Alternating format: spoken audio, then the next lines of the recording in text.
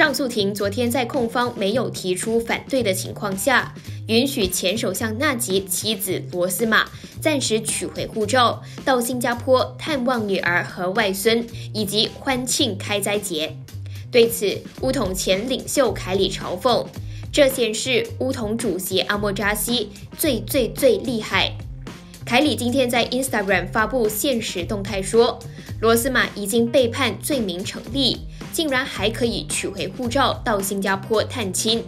凯里调侃说，现在一切都好，扎西当副首相最最最厉害了，连罪成也可以拿回护照，一切都很好。